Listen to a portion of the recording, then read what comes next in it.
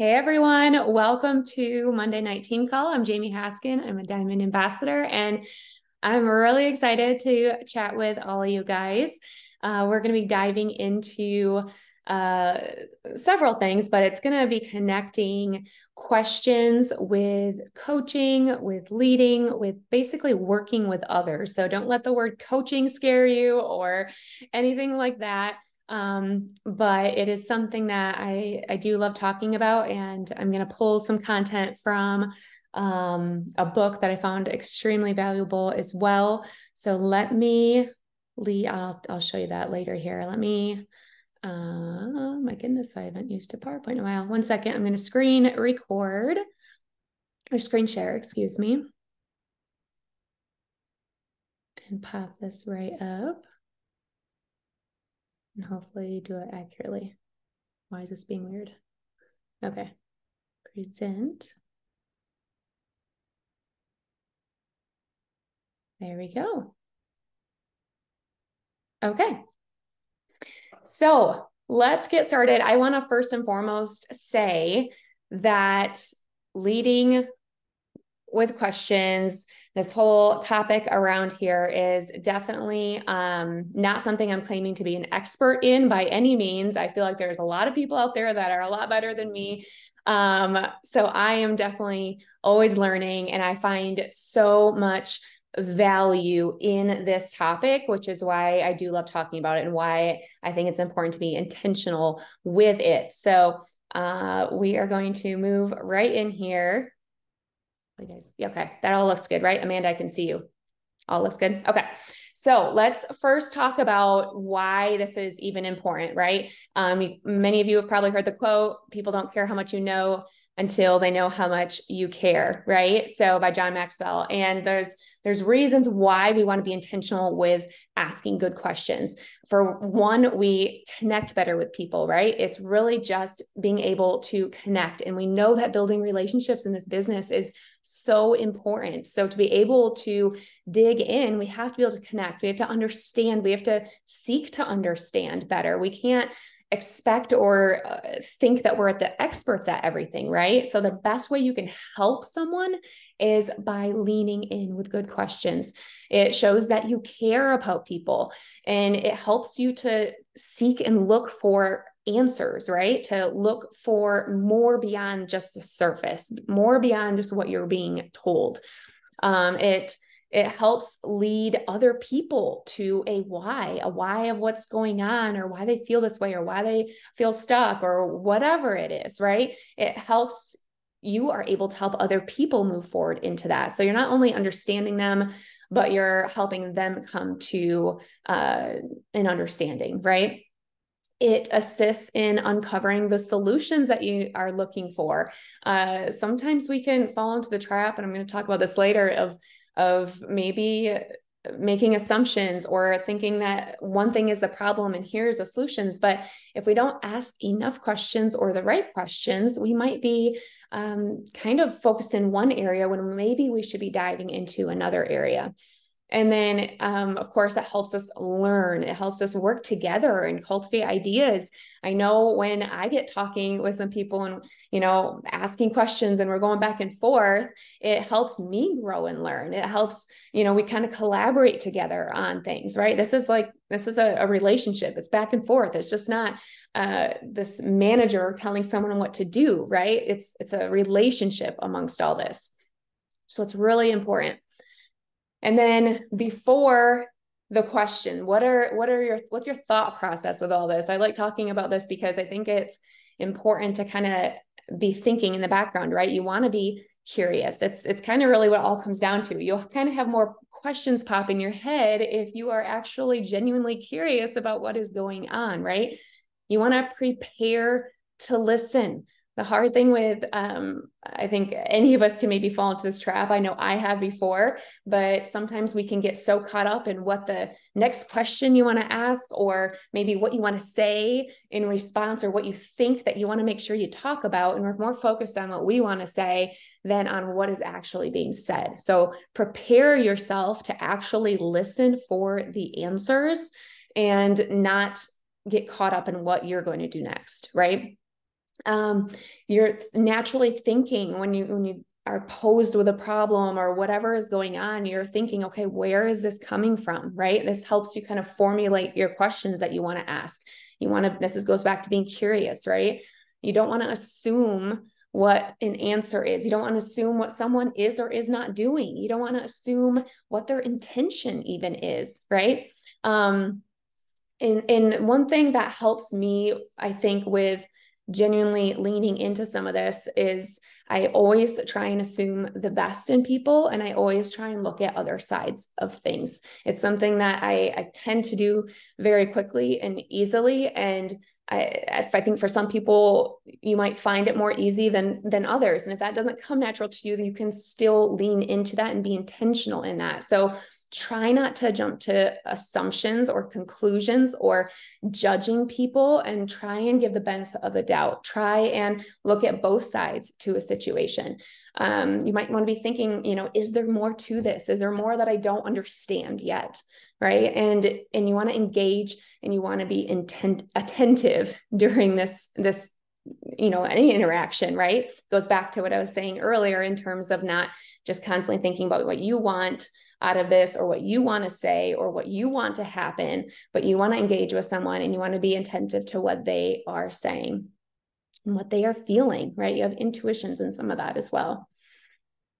All right. So, what I think is super helpful in terms of being able to ask the questions that's going to lead to figuring out the problems and lead to the solutions, right? Versus just straight up, okay, this is what I see what's wrong right now, and this is how you can fix it. And, and going into just kind of hurting people along right or or whatever the problem with that though and i know it's it's sometimes easier and quicker to do right but it could put someone on the defense maybe. It could just look like you know this is your agenda right? And it and it potentially could um, put them in a space where maybe they feel defensive or they want to protect themselves or protect their habits or their comfort and stay where they want to stay right? It doesn't promote their own problem solving. It doesn't promote um, them being able to dig into it. And it certainly doesn't allow you to get the bigger picture of what is going on right? It's it's you're getting kind of surface level if without asking questions and digging in. Versus if you do ask the good questions then um it, it allows the other person to perhaps identify their own problem, right? You can ask the questions to lead the conversation so they can share what's going on. They can they know what what the problem is. They likely know way more than you do, right? And and then they are more likely to move forward and you can help them find perhaps solutions that they will be more likely to commit to if they are coming up with those, right? If you're asking the questions to help lead them in that direction and they might be more receptive and more open to hearing more from you as well and you know they share what when they share what they're willing to do to move forward when they share their ideas for solutions i feel like we are in a better space then to gauge where their baseline is, where they're at. And then you can just maybe help a little bit more in terms of encouragement or challenging them to do a little bit more. But if you don't know where what they want to do, what they want out of this, what their baseline is, then you could be shooting way far off in terms of how much you're trying to challenge them. You need to you need to meet them and help them do just a little bit more. All right, so this content I want to share is coming, some of it is coming from this book that I think is super helpful. So if you want to get it, it's called The Coaching Habit. Um, if you can see me, otherwise, uh, I will, well, I'll show you at the end but it's the coaching habit say less ask more and change the way you lead forever. It's by michael bungay stanier. Um, super helpful easy read uh, and asks kind of like moves you forward to creating good coaching habits. So i'm going to highlight kind of some thoughts i had as well as what pulled together through some things that he said and i kind of created in a i think it's 10 steps here that i that i made out of it. So one is as you are and again don't be afraid of like coaching or think well i don't got anyone to coach yet don't tune me out if you don't have people that you are actively coaching you can lead yourself in all of these things first and also um, you will be helping people move forward. It's again, it's connecting with the people, it's linking arms with people who want to do this with you. So coaching is just a word for really running together. Um, and being, but we want to be intentional in this. So first and foremost, make sure to ask one question at a time. You don't, you have, sometimes you have, might have a lot of questions bubbling and you think you might have a lot of answers to what's going on and, and you want to help someone move forward and we can word vomit a million questions at someone, or this can apply to, you know, when you're following up with someone with a potential or with just a product user. If you ask too many questions, you're not gonna you're gonna hard time getting a straightforward answer or getting them to answer what you really um, in an effective way, I should say, to move the conversation forward. So be direct, don't be passive. If you kind of skirt around it or don't use it actually in a form of a question, then it can easily be bypassed. So make sure you're actually asking a question. So when you would write it out, would it have a question mark at the end? What is a good question? And then bite your tongue. You need to wait for an answer. You have to be okay with the silence. Okay. Resist the urge to fill that in it's okay if there's a little bit of silence okay and it can be uncomfortable but you need to to pause and let that person answer and not interrupt them right okay second thing is to listen and i talked about this a little bit already but resist the urge to think of what you want to say next and actually listen after you ask a question. So easier said when you're, you know, maybe having a typing back and forth conversation, then you can read that, right? and you have more time. But if you're engaging on a phone call, and you guys should be getting on the phone, you should be talking to people on the phone, especially when you're helping someone move forward in this business. So listen after you ask the question. And if it helps, you can write down any quick thoughts you have or questions or something you want to circle back to. I just did that the other day on a three way call that I had because she was going in depth about several things and I, I didn't want to miss something, right? Of coming back to something to be able to speak on. So I just really quick made a couple notes and then I kept engaging as best as I could, right? And just listening to what she had to say. Number three, a question that is good to ask is what's on your mind? And it's just an opening question. Um, it opens the door to discuss something that maybe really matters. Instead of you know if you get on the phone and you feel like you have to make small talk or just ask about whatever but this allows you to kind of skip some of that small talk and just go into feeling them out of what's really going on for them. And it's uh, it opens the door for something like i said that that might be very important in what they're focusing on right now. Number four things that are maybe heavy talks or difficult or maybe even like you feel like you have to confront a little bit and it makes you nervous or whatever um, to lessen the heaviness you can open with questions like these. So out of curiosity or to help me understand better you know maybe how, how come this didn't happen or whatever just so i know you know so you can always kind of open a question in a way. You can first and foremost, you guys, it's okay to ask the questions that you might feel a little uncomfortable, but if it's going to help someone learn and grow, right? We can't. Um, there's a quote that's coming later that I don't have memorized, so I will point it out here in a little bit. But you can't help someone move forward if we're just, you know, cheerleading and and not wanting to help highlight things that might be hurting them or that they need to help grow through, right? So here are some questions to help with that. Number five, and what else? So this is a question that while someone is talking, maybe you, you know, they've already started indulging or is that the right word? Started saying something about um, what is going wrong or whatever they're talking about. And you can say, and what else? And it allows space for them to keep going, for you to kind of dive deeper. Um, but what I love is it creates wisdom. And this is a quote from the book here it creates more wisdom, more insights, more self awareness, more possibilities. So if they are digging in more to what's really going on, you're going to have more insight to what's going on. They will have more self awareness, right? It opens up the possibilities for better solutions, right? To find the real problem of what is going on. And it helps you tame this is his quote here the advice monster right? Trying to go straight into okay they said one thing now i have here's my, here's the solution for you i got the solution right? So you want to avoid jumping into that too quickly. Number 6 the real problem.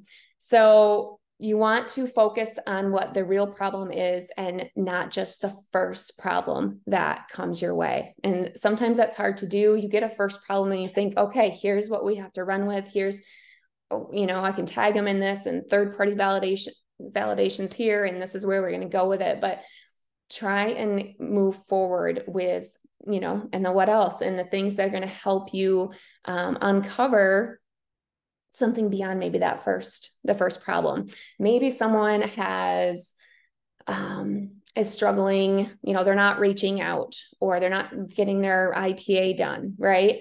Um, maybe they uh, don't feel like they have enough time. Um, and you can go into like solutions right there for time. Um, and and there's a lot of things you can cover in that. But if you keep digging in uh, and you're asking the questions, maybe you uncover that um, it's a little bit of time, but maybe there's something more rooted in that. Maybe they're spending all their time doing research on something because they feel like they have to be an expert at it. Or maybe they're, you know, whatever it is, maybe they're worried about what people think. And so they're actually holding back from the reach outs, um, whatever. So keep, keep digging in to uncover anything a little bit deeper. And a really good question is what's the real challenge for you here? So sometimes maybe they'll be telling you a lot of things, um, but you need to kind of rein it back in, or you want to dive a little deeper. So ask them. Ask. Don't don't try and decipher it or guess. Just ask. What's the real challenge for you here? All right. And number seven, avoid the rabbit hole. So when we good, good, good things to say is the tell me more and what else and and dive deeper, right? But we don't want to go so far where it's just a continual um, thing that gets completely off track, right? I mean, we've all, you know, you can get in these conversations that maybe last too long, and maybe it goes into um, more of a counseling session, or maybe gossip, or maybe just complaining about someone or complaining about something or um, worries or home life, something that's completely unrelated, whatever it is, right? So it could even about, be about what everybody else should be doing. And it could be legit things, right?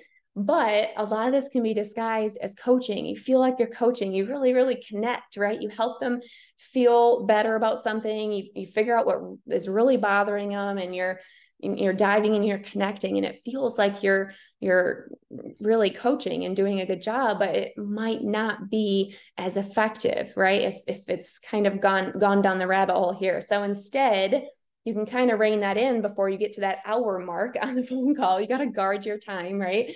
And you can ask the question you can refocus with what i said earlier what's the real challenge for you here? So you can kind of pause the conversation make sure you, can kind of rein it back in and help them to refocus on on them on what's what what's really going on for for them right now.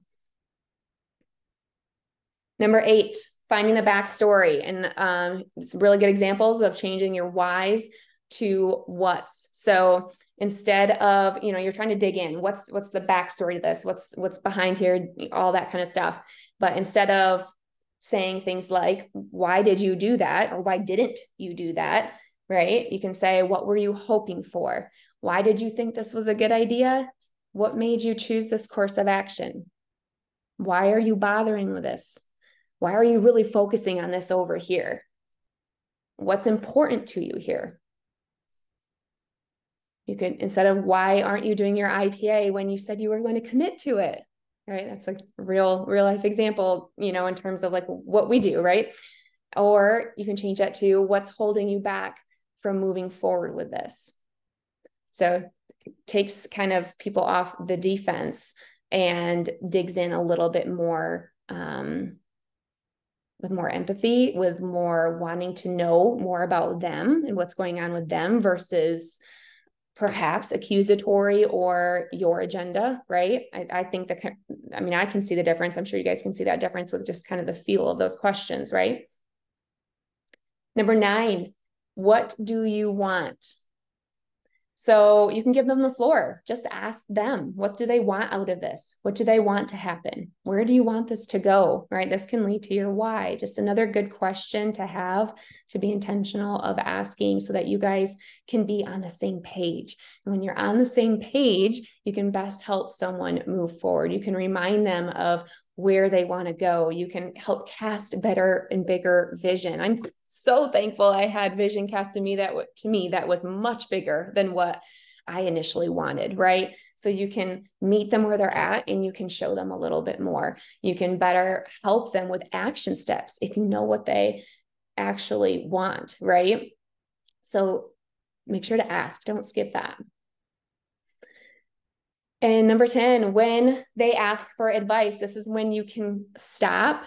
Um, sometimes I think, and I fall into this very, very easily. You know, if you ask, if you're asked for advice, then it's like, okay, well, here's here's the advice, or here's what I know, right? Um, but if you can stop and pause and resist that advice monster um, and just wait a minute to ask the questions, right? And the goal is not to never give advice. That's not to never share your wisdom and knowledge because that's very, very important.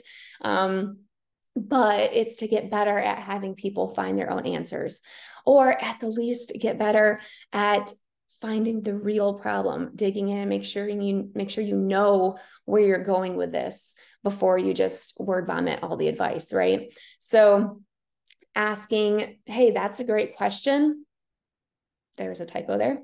Um, I have some ideas which I'll share with you. But before I do, what are your first thoughts? Okay. And that's a great way to help they can have the space to dig in, share what they're thinking. And I found many, many times that that person has had a lot of great thoughts themselves and they have a lot of answers themselves in terms of what's going on and what they could do. And you know, sometimes they just needed that sounding board. And sometimes I can step in and offer a little bit more perspective or advice. Um, and after that, you ask that question, then you can ask again, that's great. So validate what they said. What else could you do? So he a big proponent of keeping them moving forward. What else can you do? What else are they thinking about? What else can they come up with? What else is going on? Right. And then um, after well i'll wait one second for that. So what can be hard with doing those things? Um, i think the biggest thing is it's it can be a lot faster to just go right to the answers right? It is so much faster to just give someone the answer and move on right? The conversation's quicker. You feel like you've you already knew what you want to say anyway. So if you just say it then you're done right? But it's not what's best for that person. Um, i know for me chores with really young kids, sometimes it's faster just to do it yourself, but that's not going to teach them, right? That's not going to help them um, learn a skill. Um, in this case, that's not going to help someone maybe think for themselves or again, allow you to better understand them as well. It's a two way street with that. So, um, and when you jump to that advice, like I said, sometimes you might um, assume you know the real question. You might assume you're providing the best answer, but maybe you haven't dug into what the real question is, right? And, until you've asked the questions.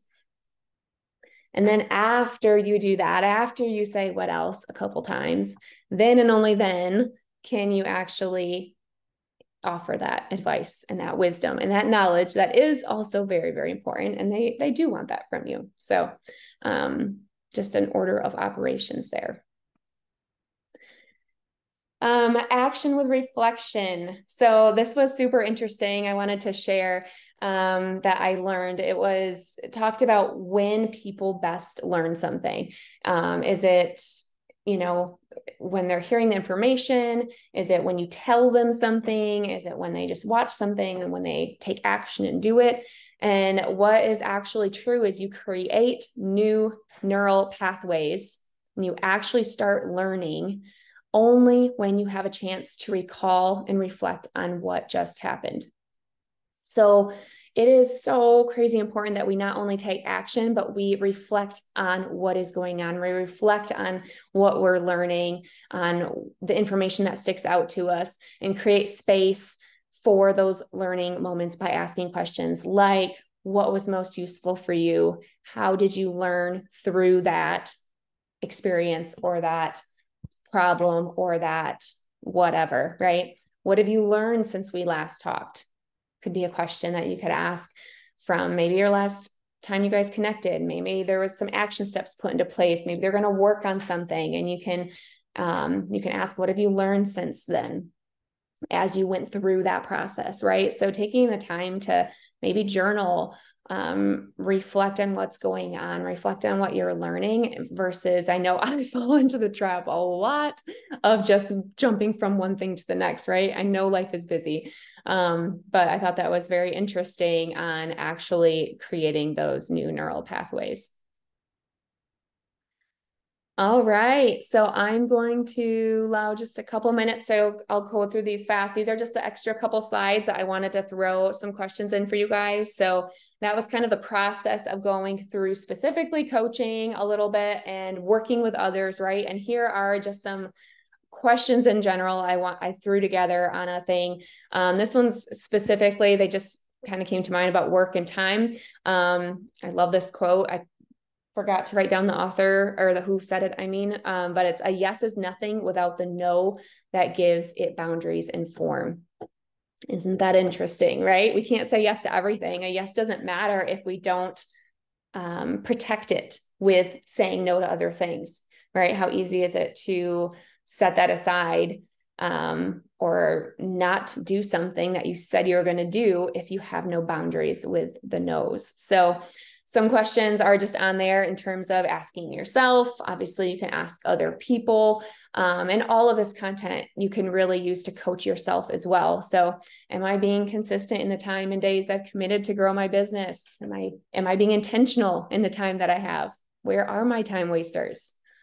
Can I delegate something or ask for help in a different spot? Um, can I adjust my work hours?